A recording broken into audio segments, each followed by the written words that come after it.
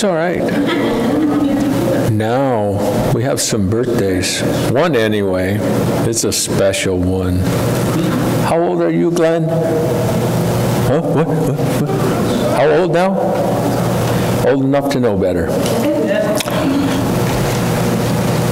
Yes. I'd like to praise God for Mary Lou's safe return from visiting her mom on Thanksgiving. And because of that, we're having our thanks, family Thanksgiving today. Oh, good. And I want to also thank God for bringing Mary Lou and I together. And this morning, we got up early to do all the fixings and the turkey, and we were working on it, and halfway through, she said, I would really like you to get ready and go to church. And I didn't even organize this myself, so, you know, one o'clock dinner, I- that's a lot of work, but I thank God for her. Brenda. I want to say a great thank you to everybody that helped with the Highland Department uh, luncheon, Thanksgiving luncheon. I believe that it was the best attended of all of them that we've done. Thank you to everybody that jumped right in and helped and provided food. It was, it was a blessing to them, but it was a blessing to us as well. Wonderful. Dave. I'm thankful for the fact that I got to spend two days with at least part of my family over Thanksgiving, especially with- for Stephanie, because my once bare refrigerator is now overflowing. All right. Yeah, we have one Glenn. Anybody else want to? Oh-oh, birthdays? Oh, you have a blessing? What?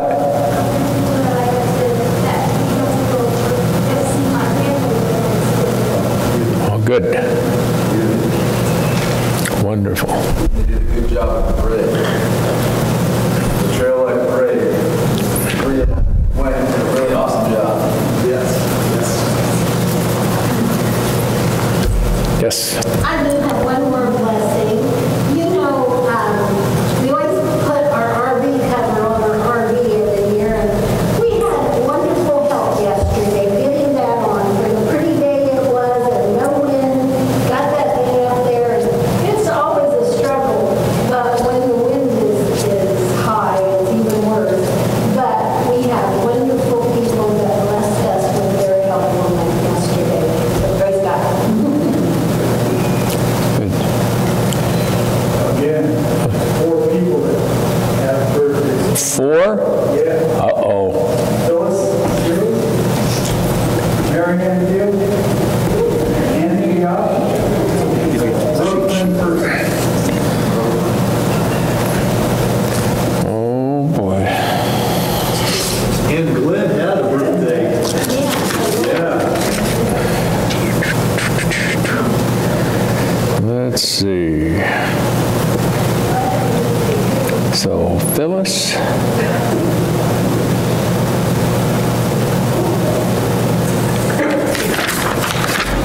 So I have Phyllis, we're going to sing She May Be Listening. Mary Ann, when, when was your birthday? It's not until next Saturday. Next Saturday. This Saturday? It's coming Saturday. This coming Saturday. So you're, you're on the hook. Phyllis, Mary Ann, Glenn, and who else? Anthony, Anthony? and Brooklyn.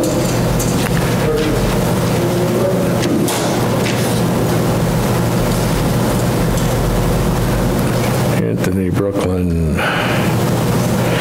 We should do this alphabetical. We never had this many, have we?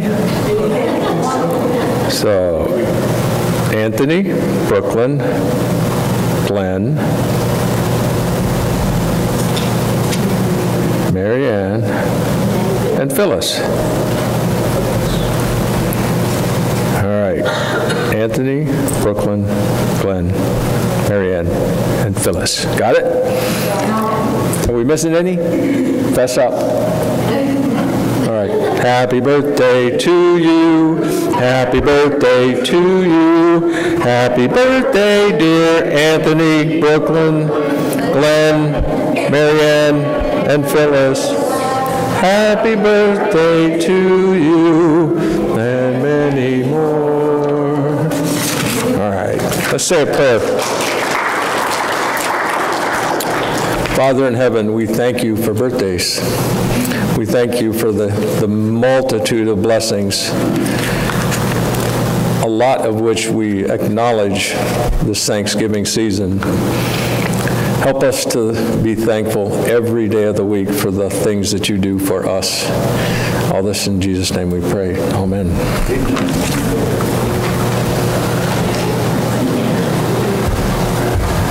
Right, while we're making the transition to children's worship time, I want to remind you that this Thursday is the Voices of Hope concert at the Conneaut Human Resources Center.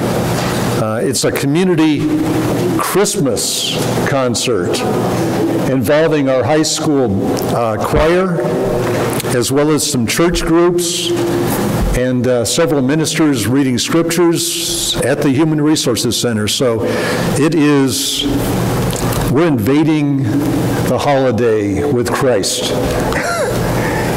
Um, And then, in a little over a week, we host a Jerry Garcia concert here on December 9th. And uh, we're going to have some refreshments afterward, and so next Sunday, we'll pass around a clipboard uh, for things like cookies and uh, snacks and stuff, something that's going to entice some fellowship and hanging around a little bit afterwards. Uh, And that, that concert will be December 9th, just as a reminder. And I have put a poster on our Facebook page. If you are on Facebook, share it to your page, and when you do that, then all of your friends get to see it. And maybe you've shared it already, but you can share it a second time and, and keep it active, keep it out there. And bring your friends and neighbors to this concert. Tell, spread the word about it.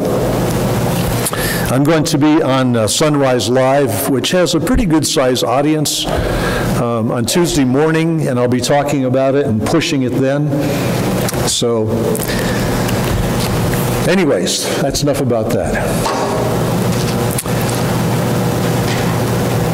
1 Thessalonians chapter 5, verses 15 and 16. This is our starting point and the whole theme of what we're going to talk about today.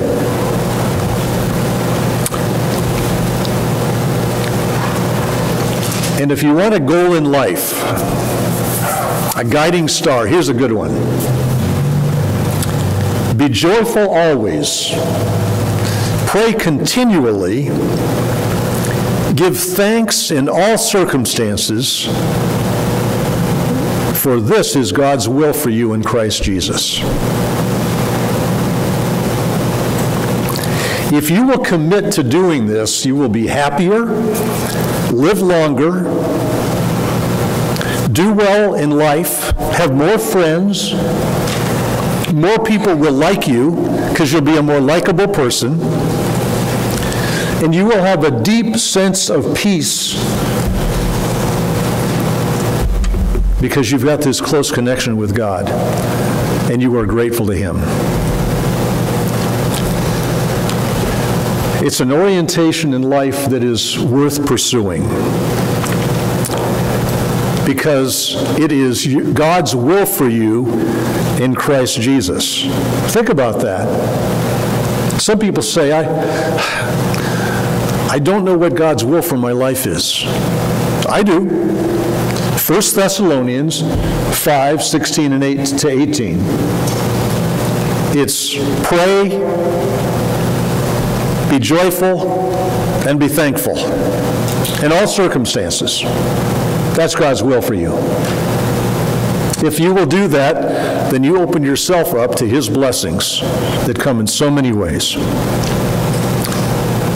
The Old Testament contains an account of a man whose life fell apart. But his confidence in God's wisdom and purpose carried him through. Some of you are very familiar with this guy because you've read the book that is named after his name. And the first time you read it, it, it shocked you and disturbed you, and you didn't want to ever read it again. It's the book of Job. You know what happened to Job. First of all, a disaster came upon his family. They were gathered for a Thanksgiving meal, and the house fell in, and they were all killed. And then, if that weren't enough, Job got sick.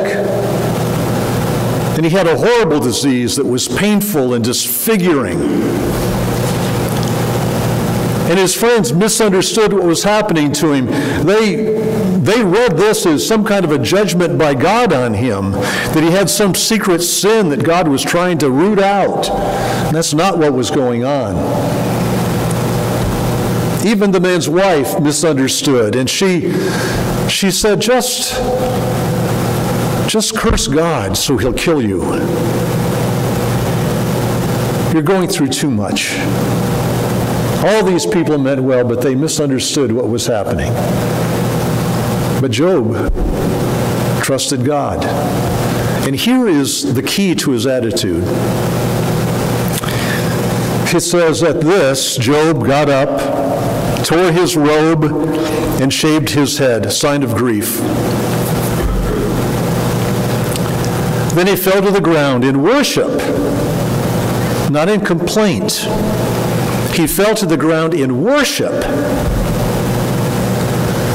And he said, Naked I came from my mother's womb, and naked will I depart. The Lord gave, and the Lord has taken away.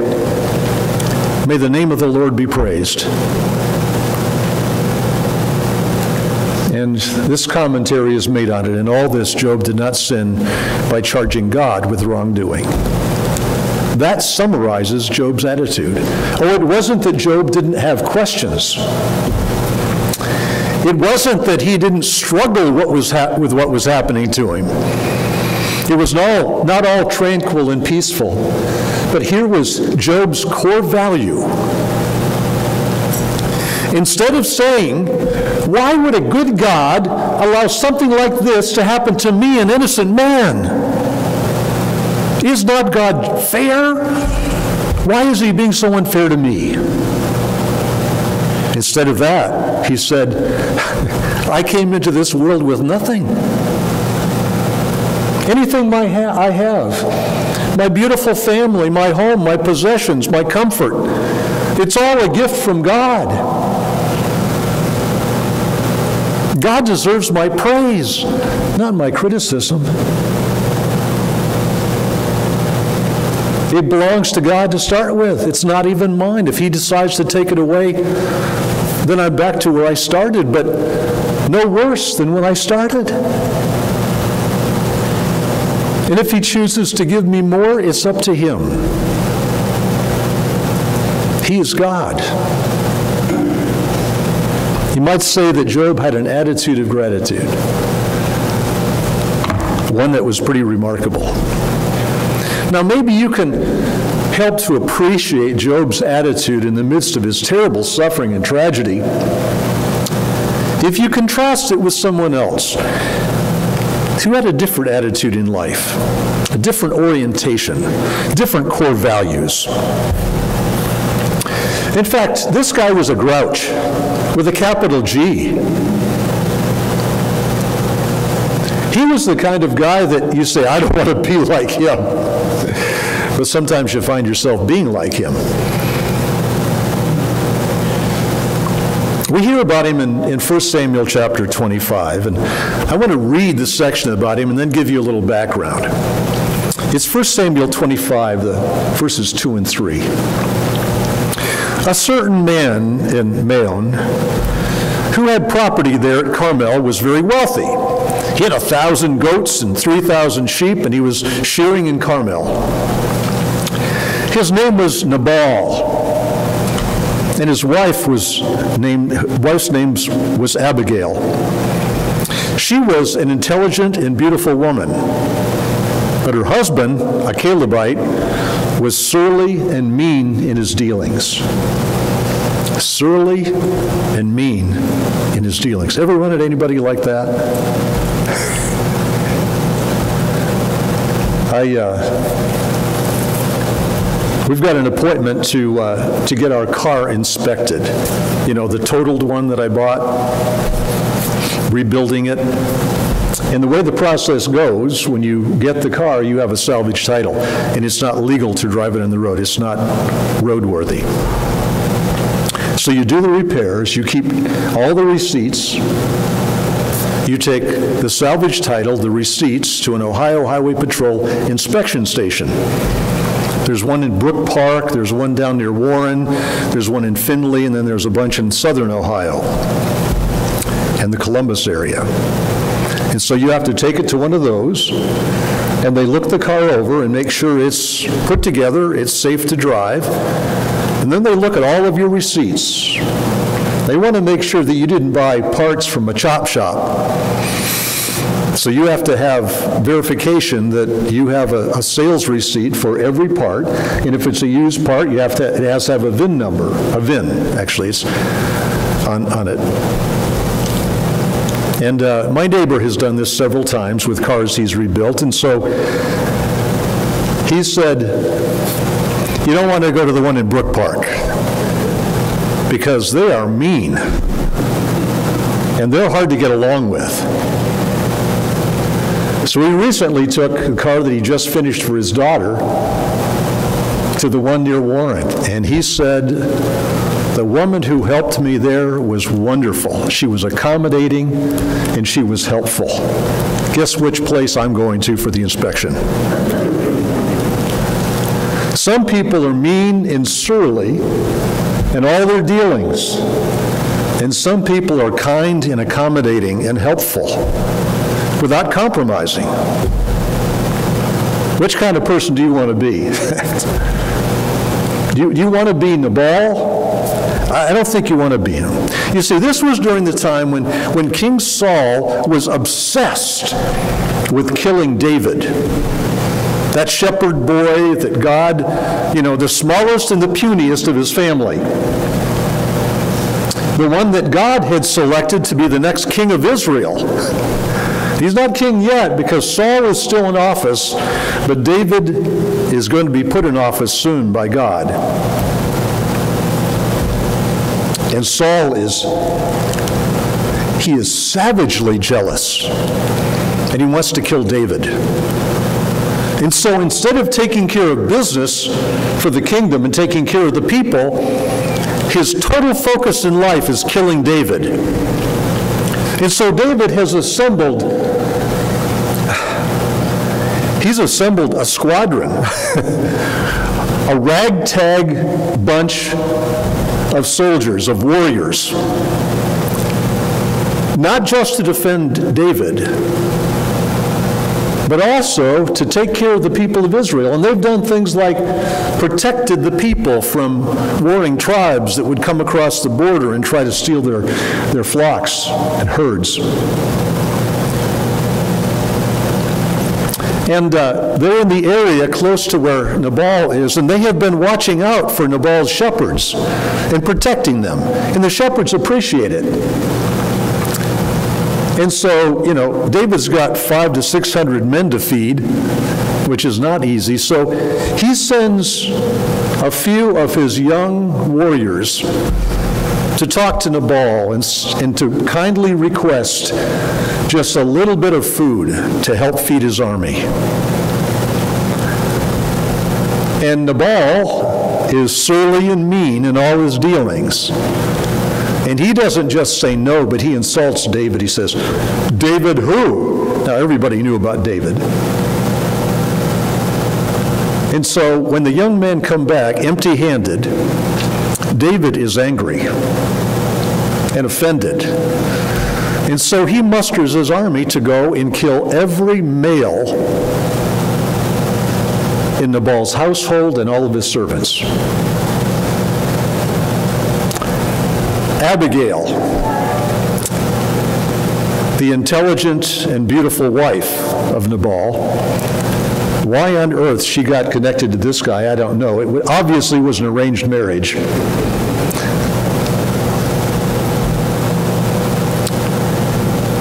She heard about it, and she put together a lot of food and took it to David's army. David was impressed. She came and apologized for her surly and mean husband. And David withheld his hand and did not attack her husband and his men. So, when Abigail came home and told her husband what was about to happen at the hands of David, he had a heart attack, and 10 days later he died. And so David proposed marriage to her, and she accepted, and she became David's wife. A little bit of a strange outcome from that one, right? Now, who would you rather be, Job or Nabal? I mean, how many of us have ever yearned to be Job? But Job was a man who said, Naked I came into the world, and naked I will leave. The Lord gives, and the Lord takes away. Blessed be the name of the Lord. God is good all the time, and all the time. Do you really mean that? How about when you feel miserable and nothing tastes good and nothing looks good? And you get depressed because it's gone on for a week and you wonder if you're ever going to feel well enough again? Or you get a terrifying health diagnosis and you wonder what the future is going to hold? Or you get an injury or the arthritis has grown to the point that you're always in pain? Or you suffered a tragedy and your loss is so deep that you wonder if your heart is ever going to be healed from that?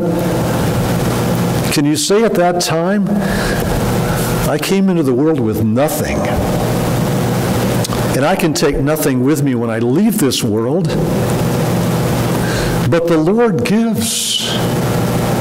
And if He chooses to take away, I'm okay with it. May God be praised in all circumstances. That's Job's attitude. And Nabal's attitude was, it's all mine, and you can't have any of it. I built this myself. I earned this all myself. And I'm going to take care of myself first.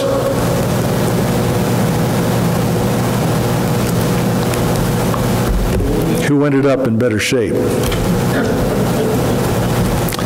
If you read the last couple of chapters of Job, you find out after a long time of dialogue and back and forth about this, it tells us what happens that God multiplied Job's family and wealth, and in the end, he ended up better off than he was at the beginning.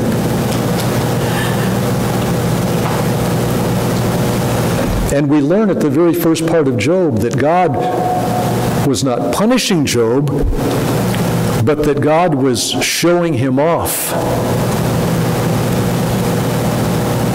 Showing Job to be a person that is the epitome of a good man of faith who truly trusts him.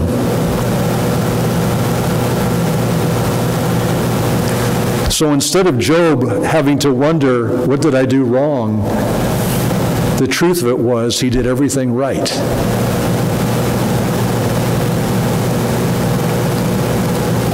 Now,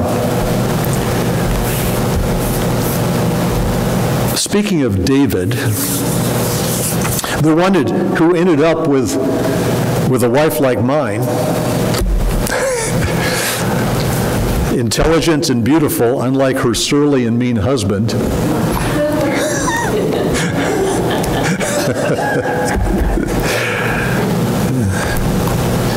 If you want to test that out, I request that you don't talk to Brenda.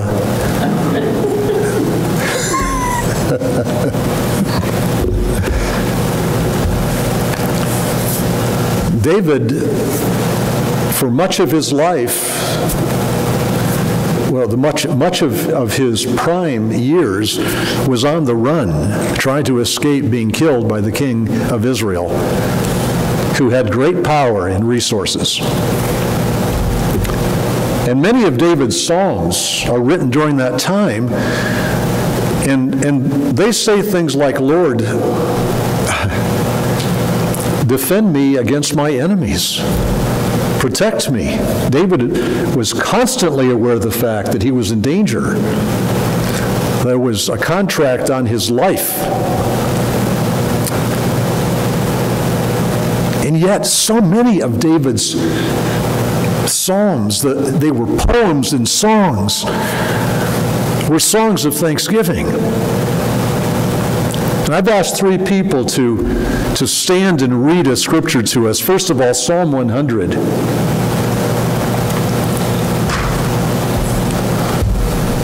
Shout for joy to the Lord, all the earth. Worship the Lord with gladness. Come before him with joyful song. Know that the Lord is God. It is he who made us, and we are his. We are his people, the sheep of his pasture. Enter his gates with thanksgiving, and his courts with praise. Give thanks to him and praise him, his name.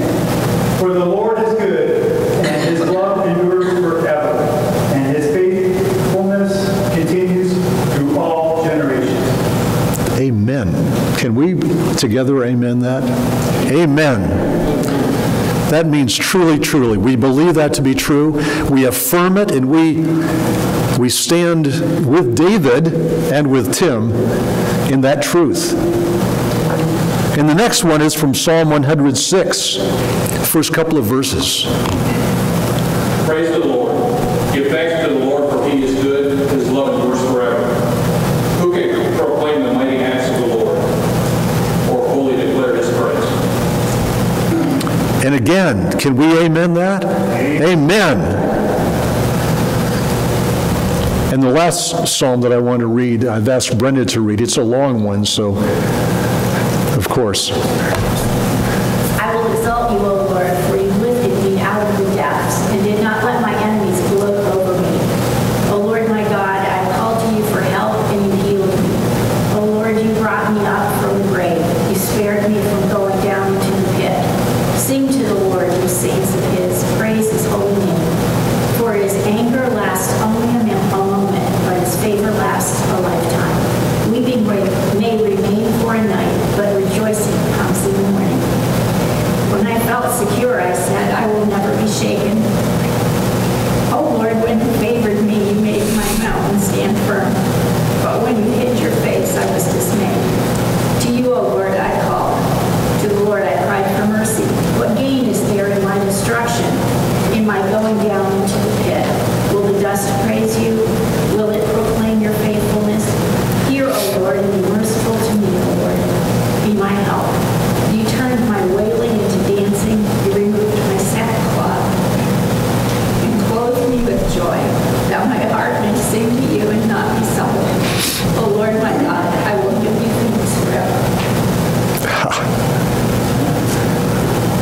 And can we say amen to that one together? Amen. It's obvious that David did not escape times of suffering and despair, but he was aware at all times that God was watching over him and would deliver him. When we gather together and we read Psalms like this, or we do as Paul instructed the Ephesian church in 519, to sing psalms and hymns and spiritual songs, to sing and make music in our hearts to the Lord. We're cultivating that spirit of thanksgiving, that attitude of gratitude in our hearts, because it doesn't come naturally.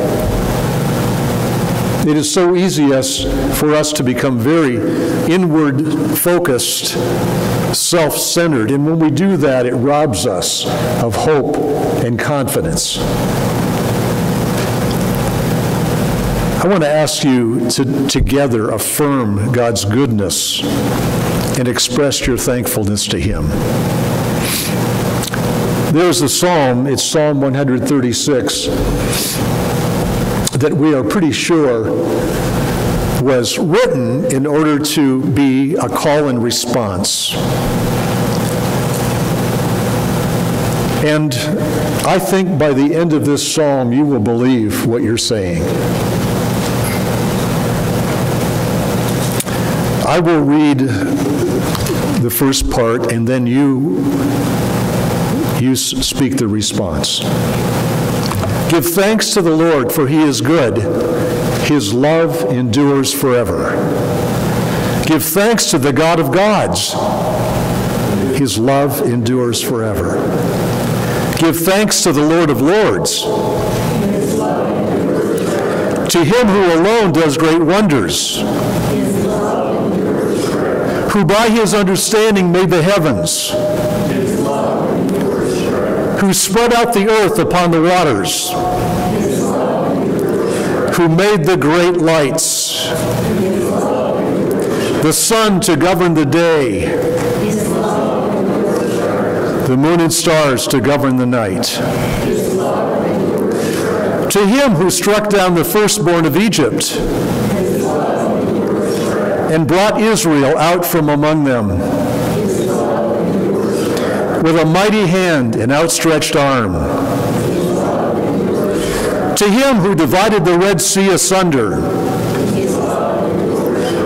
and brought Israel through the midst of it, but swept Pharaoh and his army into the Red Sea. To him who led his people through the desert,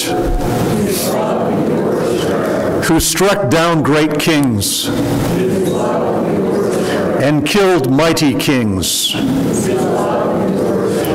Sihon, king of the Amorites, and Og, king of Bashan, and gave their land as an inheritance.